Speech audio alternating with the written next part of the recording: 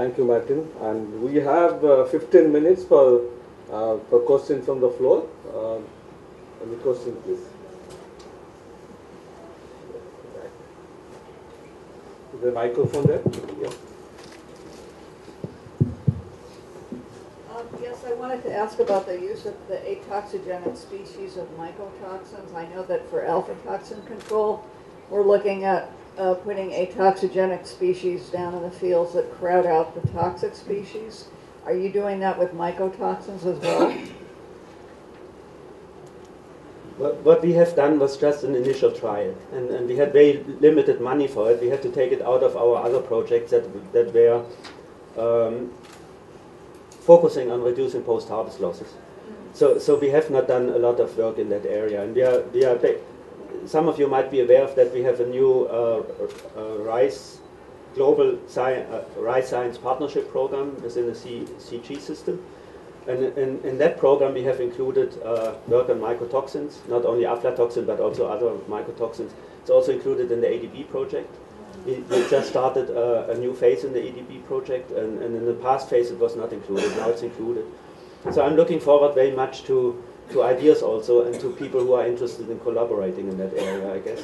Uh, it was not one of our priority areas in the past, but it's, I, th- I think uh, the experiment we did shows and, and the feedback we're getting initially in the villages shows that it is important to address those. Uh, please uh, uh, introduce yourself before you ask question. Here. Oh, me? Yeah, please. No, I'm Francesca Nelson. I'm the um, Ag and Food Nutrition Advisor for USAID East Africa. Please. Hi, I'm Lauren Honican, and I'm a student with Thinking Beyond Borders. And I was wondering in what ways you are working to make these technologies more accessible to third world farmers, um, and also the post harvest practices, if you have any um, sort of educational programs in plan.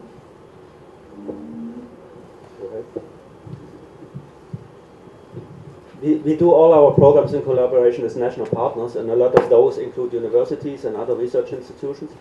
And, and uh, I mean, our, our standard way of sort of getting messages across is doing training of farmer intermediaries, and traditionally from the government, but now also from the private sector. And, and we are working more and more with universities to include post-harvest in the curriculum, for example, for at, at universities. We've just done that in the university in Prey Veng in, in Cambodia, also in Myanmar. And uh, yeah, otherwise, I don't think we have a lot uh, in, in the moment for we we do have a problem with basically the fact that the rice scientists in the in the world they are all sort of my age, and there, were, there, there are very few people who come new into science, and that also we don't have strong training programs for young people anymore. So it is working on that end, but but the, the challenge is really trying to to convince people to go into rice farming, but then also into rice science, I think. So the, the only thing, to answer your question, the only thing we do in the moment is working with a few universities in, in the post-harvest area. Uh, KN, would you like to add uh, the program you have uh, in Southeast Asia? KN, would you like to add? Oops. Training. Training? Yes. Yeah, we do the same, a similar kind of model. We engage the local people in the training. We also have the similar problems. Uh, he's young compared to me, so a lot of the people we work with are my age. Uh, again, you know, uh, one of the things that we want, we want to discuss, maybe uh, to bring to light is there is a need for to increase the uh, incentives or at least the opportunities for young people to get involved in more down on earth kind of science rather than uh, in, in Asia, for example, most biologists are trained in cell biology. We don't have any more field biology people, so this is a problem. Uh, okay. Yes. Yeah, my name is uh, Okay, that's fine. Go ahead with you. my name is Murli. I work with the World Food Program in India a climate change uh, program officer. Uh, it's very nice to hear uh, from both of you on uh, post-harvest and also pre-harvest technology, how to reduce losses of grains. Uh, both of you mostly spoke about uh, the rice, I mean post-harvest as well as pre-harvest. But most importantly, in, in Asian regions, it's, it's also important to grow pulses, and pulses are being very badly affected by post-harvest losses due to bruchids and other uh, beetles. So I think we have to concentrate, I mean, I'm not telling you should not concentrate. There should be more efforts to look at post-harvest losses among uh, the, uh, you know, the, the pulses as well. And second thing I wanted to know, in most of the, I mean, as somebody in the, in the, uh, in the uh, you know, opening remark, somebody said that it is uh, less than one hectare is the, you know, land holding capacity of the farmers in this region. And what is that is being given to the farmers at the household level for post-harvest uh, structures? Because that becomes more important uh, for you to conserve grains at, in, large numbers. You have to work at the local level. I mean, that also reduces the family level hunger. That's most important for us. Thank you. Uh, want to? Um, I, I agree with you in all aspects. With Pulses, we are the International Rice Research Institute, so we mainly work on rice, but like with hermetic storage, we are collaborating, for example, with CIMMYT on, on maize, and we are collaborating with a lot of national institutions on other crops too. So, so we basically provide uh, equipment and protocols and things like that, prototypes, and, and, and they test it and then they send us back some results, hopefully, sometimes. Uh, with respect to the farm level post harvest, it's a tricky issue. Um, the, like the hermetic storage, the, the super bag, the 50 kilo bag, that was really designed by, basically specified by IRRI, developed in collaboration with a, with a company looking at the farm level because uh, the cocoons farmers groups would not use uh, and, and we needed something for individual users. This drying, which is one of the major constraints before you can put it in the, in the bags, all farm level drying projects in the past for 30 years have failed. And it's ma- mainly it's economics of scale, and it's also that the farmers don't have enough uh, products themselves. What we try to do is uh, do business models, develop business models for contract drying services, which then farmers can can avail uh, and, and basically pay a small amount of the value of their crop. They are willing mostly to pay around five percent of the value of the crop for drying service, because they think that's uh, less than they are losing if they don't do it properly. And, and the major constraint is often the, that farmers have to sell immediately after harvesting. That's one of the of the major major problems we have. And, and there we are trying to, we are for example working with again another private sector player to look at, at village storage in, in a scheme where basically uh, privately uh, organized uh, village storage is done uh, for farmers and, and the farmers get a better price or get some share of the better price that, that the, village stores facility gets when they sell at a, at a higher market price. So it's, it, it- requires a lot of answers. It's not a technical issue. The, te- the technology, I think, is not the issue. It's more an organizational and financial uh, limitations that we have there. Yes, please. Yeah, hello. I am Akhil Arora from PepsiCo. Actually, uh, as per this uh, thing, like mechanized harvesting gives a very high nutritious uh, price, but experience in India in terms of the challenges which a farmer face, like when they are doing a mechanized harvesting, the exporters are uh, paying a lesser price for a mechanized harvested price because it has got a high broken percentage. So uh, I think there has to be a lot of awareness has to be there because on the export side they don't get a demand uh, because of that uh, because it has got a high broken percentage. So just want to understand what kind of challenges uh, we face in terms of mechanized harvesting and how do we uh, tackle that? I think there are different reasons why people mechanize harvesting, and what, what we are seeing in the countries that we are working with, I in the moment don't work in, in South South Asia, is that that basically uh, the labor shortage is driving it, and, and the problems that are related to labor shortage. So so people cannot harvest in time. In Cambodia, often the rice fields burn. Uh, because because they, somebody burns a straw and then and then the crop that's that's mature starts burning too, and and they have tremendous losses there. And and the major drive there is basically bringing the harvest cost down. And, and in, in India, I, I, don't, I don't really have a, a good overview. I know that, that uh, for example, for basmatis, the current combines are not, not really suitable. But as, I, I think there is a technical solution to that by using axial flow, flow combines instead of the uh, conventional combines that they have. But I, I don't know enough. So I think it depends a bit on the situation.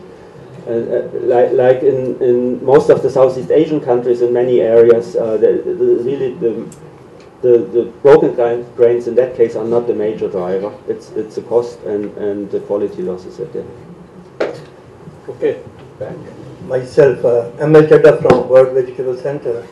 My concern is, do you have varieties which are having, after post-harvest, they are getting more nutrient, or you are generalizing that all the varieties after post-harvest management, they increase their nutrient? Have you analysis, something like that? I guess uh, we don't have any qualified people to answer breeding I- question here, Yeah. but it's a valid question. It's a valid question. Uh, we haven't worked on that, so I don't really have an answer answer to that question. we are generalizing this, Yeah. which has impact on the health and nutrition, and we cannot say a general statement. Can we say what health issues are improved, what nutrient you are giving, A, B, C? You are saying you are not having valid, so why would We we don't we don't have values in terms of varieties, different These varieties. statements, how we can certify? Such statement when we are giving in public, how we can have value of these statement? Um, what did I say? What, what do I need to Just, uh. Yeah. Ba- Basically, my point was that post-harvest is addressing, uh, is, is affecting nutrition. Uh, For example, if you if you do uh, in the milling process, if you uh, mill completely over mill the rice, then you remove a lot of micronutrients. Uh, so that was one of my statements. The other one was that that uh, with our post-harvest practices, we are effect uh, influencing the uh, the growth of uh, fungi and therefore the potential of mycotoxin contamination. Uh, I, I don't think I made a statement about varietal differences because we just haven't worked in that area. Okay, thank you.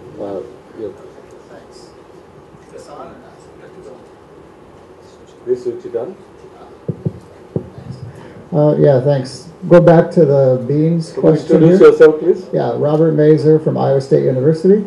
And I head one of the Pulse CRSP projects USAID funded, and we're working in East Africa and Uganda and Rwanda. And we face many of the same problems here in terms of the problems of threshing and drying and storage and so on. And uh, one of the things that we're doing is we're looking at some field testing of some techniques that have been worked pretty well in West Africa, sort of the what's called triple bagging, the equivalent of your super bagging, anaerobic storage. But one of the earlier stages is solarization, uh, and so that really kills the the insects, and then you store it hermetically. You have a very good chance of having a good uh, product as a result. Uh, generally, what's used there is in 100 kg bags, though, and so that's good for what you're going to market. If farmers are going to use it for consumption, then you'd want something smaller. And if they're going to use it for seed, so sometimes we're using 20 liter jerry cans, as long as the same principles are applying, because once you open it up, you've lost the effect, of course. Um, one of the problems with beans is the hard to cook phenomenon, and so we're looking also at the effects of different types of storage and some of the, dif- the different drying and storage conditions. Does that have an impact on uh, both the cooking properties but also the nutrient availability, the nutrient profile of the beans when they're uh, consumed? And also germination is another issue. So there are a whole range of factors that need to be taken into account. But the techniques are pretty simple, but just kind of fine tuning it for the local environment is important. But the technique's been tested pretty well in West Africa and is already undergoing widespread dissemination. Thanks. Thank you. Uh, okay, there, then this one, the back. Thank you. My name is Linus. I'm the South African uh, chair in post-harvest technology. I'm just gonna uh, gonna first uh, speaker, perhaps the second one, Dr. Kong. You you gave some data demonstrating the the lack of um, extended benefit by increasing the application of pesticides. Now, just this one just looks at your graph. It just says that we don't need pesticides. Is that really what you wanted to say, or is there a threshold that you are talking about at which the benefits disappear? The answer is the way the farmers are using it, they don't need it. If they they need to be applied more precisely according to a threshold, whatever, then it is useful. But the way they're using it, they might as well don't use it. That's the answer to the short question to you. So, but the system is driving them to use it, and that's where reform occurs at that level. Without this, the, there's oversupply and therefore overselling. And unless we deal with that fundamental problem, all the thresholds don't work. They just wiped, wiped away. Just the last one from me, if I may. Uh, short, please. Keep it short. Yeah, just Martin, please. You just mentioned very briefly about the upscaling or upscaling of the pro. Could you just talk a little bit about it? Because that's quite important, really, if we really want the post-service technologies to have the impact. Keep, keep your answers short. Yeah, I keep it short. Basically, what we what we try to do is uh, develop new methodologies for getting it out, involving uh, the traditional extension system, but then also other players, like for example, uh, private sector, the Rice Millers Association we are working with in Myanmar, seed producers, which which uh, basically produce farmers seed for farmers, which have their farmer networks. With NGOs, for example, Catholic Relief Services, they have their networks and so on. So basically, trying to to, to uh, look at additional multi-channel extension systems and, and developing those and testing those. Was that short enough? Yes. Thank you. Thank you. Last question, please. Okay.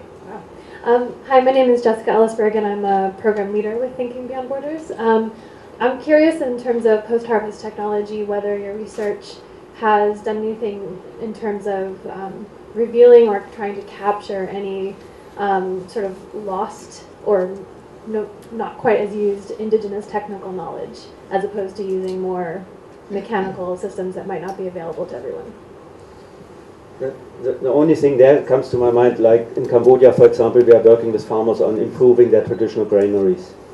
So making, making them rodent-proof, insect-proof, and, and so on. So, but otherwise, our mandate was really, in the past, was really to generate new technologies and feed them into the national systems uh, so that they can work with it. So, so we have changed that. We are now working with the national systems, with the end users, and with the, with the private sector to develop new technologies. But we haven't looked at indigenous know-how. That, that was not our our task. uh, okay, we are out of time, but we have two things we didn't need to complete. I will ask Dr. Ursula to give a very short closing remark. Then we have an announcement from the organizer.